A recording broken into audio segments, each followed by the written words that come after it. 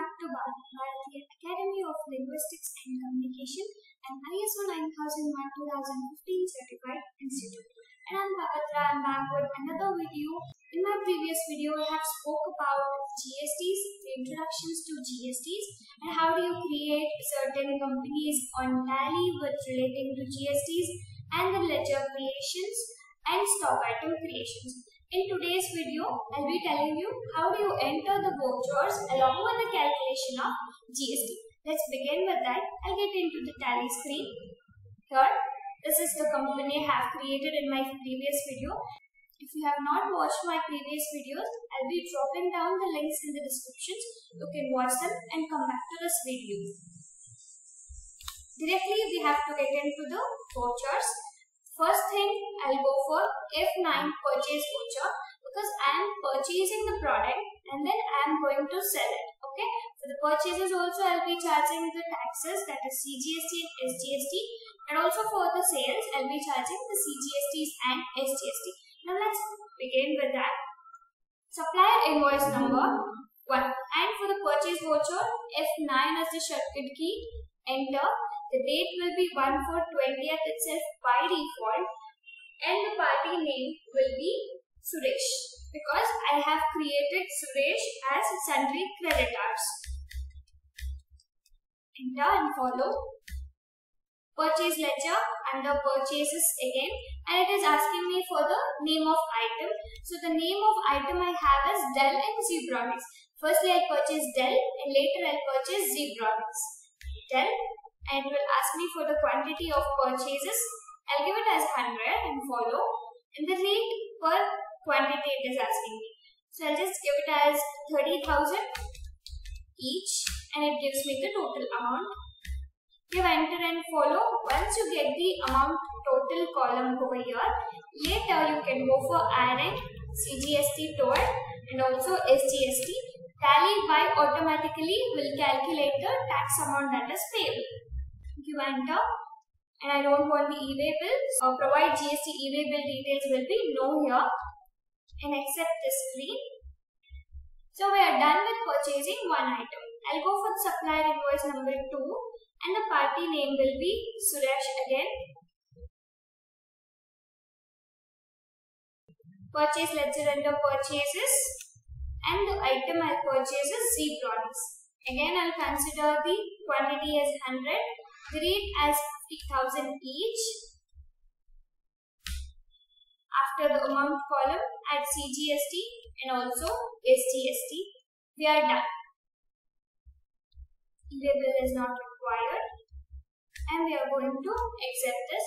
So now as per the voucher entries I am done with two purchases. One is purchase of Dell and one is purchase of Zebronics. Now we'll move on to the sales voucher. F8 is the shortcut key for the sales voucher and this is the screen how it looks like. Now I have to consider the party account name as Prakash because he is the person who is uh, purchasing the goods from me and this is the sales voucher I have to enter. As for my company, this is a sales. Sales ledger under sales again. I'll be selling the goods. Then have 100 quantity. I'll sell 100 quantity entirely. I have purchased the Dell for 30,000 rupees each. I'll be selling this for 40,000 rupees each. Later I'll add CGST to that and also SGST. Provide GST e-way bill details will be no and I'll accept the screen. So we're done with sales number one. We'll move on to the second sales.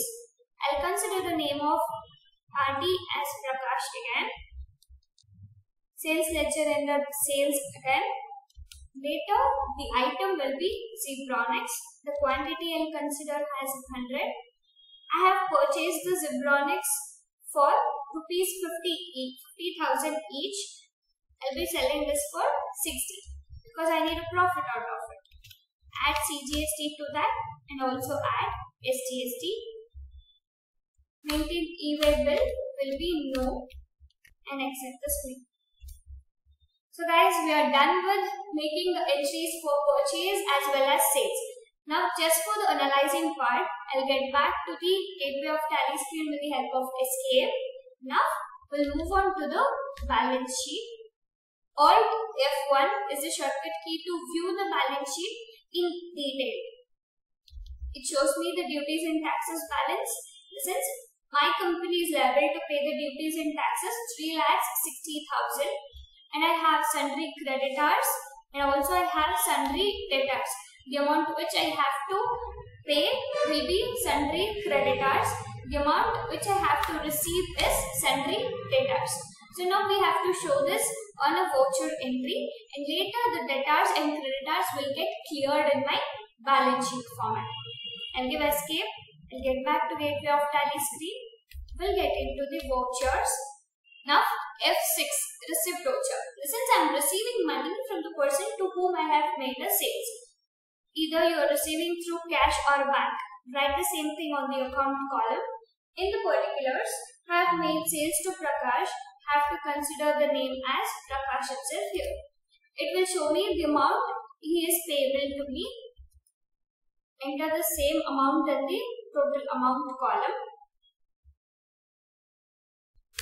Give enter. It asks for the against reference. Enter and it will show me the pending bills that is there in the name of Prakash. So whichever the amount you are receiving against his name, you have to select it. First you will select the first voucher and also the second one. So I'm done with entering two different details and accept the screen.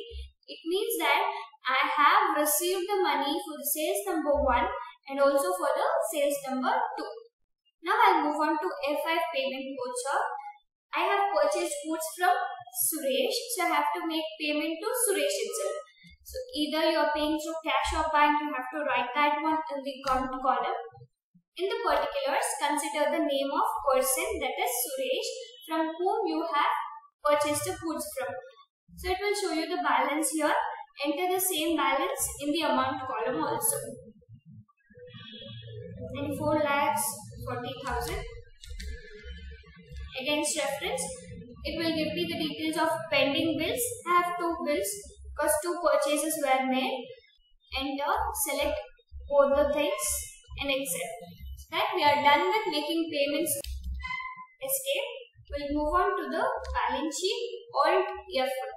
So it will not show me the credit balance, creditors balance and also the debtors balance because whatever the amount I was payable, I am done with making payment what are the amount I had as bills receivable, I'm done with receiving the amount. The only thing remaining is the duties and taxes. This duties and taxes, whatever there is uh, on my balance sheet, should be made payment to the government. Set off and carry forward, this is again a different concept. Yeah, we'll get back with another video with the set off and carry forward concept. And now, the duties and taxes is in the liabilities column. Since I am liable, my company is liable to pay the duties and taxes of sum of amount 3 lakhs 60,000.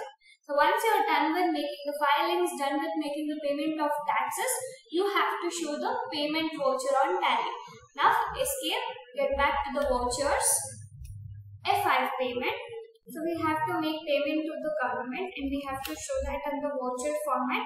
Go for cash in the account column and add CGST, it is giving me the balance 1 lakh 80,000. Enter the same thing and add SGST, it is giving me the balance as 1 lakh 80,000. Enter the value and accept the screen.